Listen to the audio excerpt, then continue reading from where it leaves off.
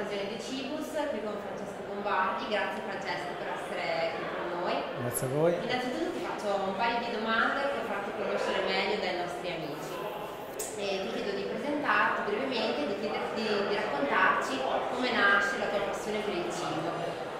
Bene, io mi chiamo Francesco Bombardi e mm, fra me e il cibo non è stata veramente un, non è stato amore a prima vista, diciamo. È stata una conquista graduale, progressiva che ancora continua.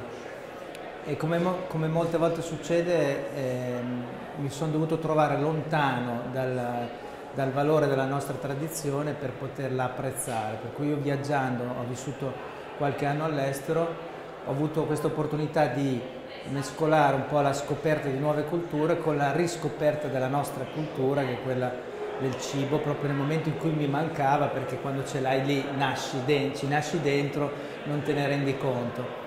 E, ehm, tutto questo un po' mescolato anche con una curiosità che viene dalla mia deformazione professionale, essendo io architetto, quindi avendo eh, una curiosità particolare per l'esperienza dello spazio, eh, per cui per me l'esperienza del cibo incomincia nello spazio in cui lo consumi, quindi l'atmosfera, le persone, la compagnia e eh, è tutto un, un, insieme che rendono l'esperienza del cibo eh, completa.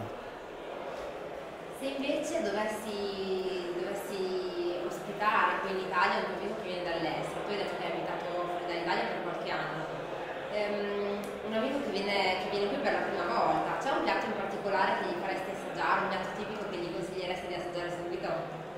Qui mi, mi voglio smarcare. Diciamo che sappiamo che ci sono tantissime culture diverse, per cui essendo la nostra tradizione molto ricca e varia, mi prenderei il tempo di, di interpretare dei piatti o delle, dei piatti diversi a seconda della provenienza e del, anche del carattere del, della, dell'amico che viene, che viene, a trovarmi proprio per, per costruirgli un, un'esperienza proprio su misura come un sarto che però produce un, un abito però naturalmente con tutti i tessuti made in Italy.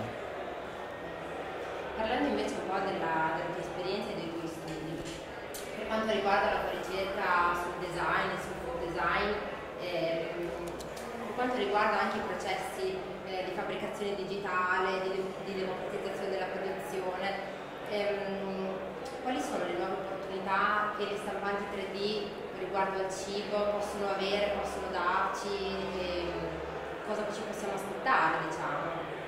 Sì, quello, il mondo della fabbricazione digitale è un po' l'ultimo viaggio che, che ho intrapreso, per cui anche per me è stata una scoperta di sicuramente opportunità nuove per fare della propria cucina un vero e proprio laboratorio di sperimentazione. Per cui vedere queste macchine che siano stampanti 3D o che siano piccole frese, eh, robot o comunque kit per la produzione o l'autoproduzione di prodotti anche nostri tipici ehm, costituiscono una grande opportunità per noi per sperimentare, per mescolare un po' la tradizione con la nuova tecnologia.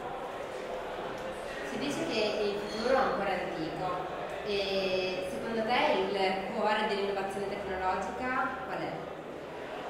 Il cuore del... mi piace pensare che comunque la, il futuro ci dia la possibilità di riscoprire delle parti anche del passato che, abbiamo, eh, che abbiamo perso, su cui ci siamo un po' distratti. Per esempio il processo di stampa 3D della pasta, che è un tema abbastanza attuale, essendo anche qui a Parma, ne ha parlato Barilla che eh, ha fatto delle sperimentazioni con un, un ufficio olandese, TNO, su questo tema, ci permette di vedere la pasta non più come una forma finita, ma come miscela, quindi andare a monte a riscoprire eh, la materia prima che costituisce gli alimenti e dare la possibilità a tutti, avendo questi mezzi a disposizione, di reinterpretare il processo partendo da molto più indietro. Quindi per me questa è la vera opportunità, la sfida del futuro è anche questa, di riprendere dei dati del passato e reinterpretarli in una chiave moderna. Tornare indietro. Tornare indietro, andare avanti per tornare indietro e poi, e poi ritrovarci comunque con un bel piatto e naturalmente deve essere buono perché la sperimentazione esatto. altrimenti rimane chiusa nelle aule di laboratorio. Invece noi li vogliamo portare in cucina. Ti ringraziamo per essere stato nostro ospite allora e ci vediamo al prossimo incontro. Grazie a voi.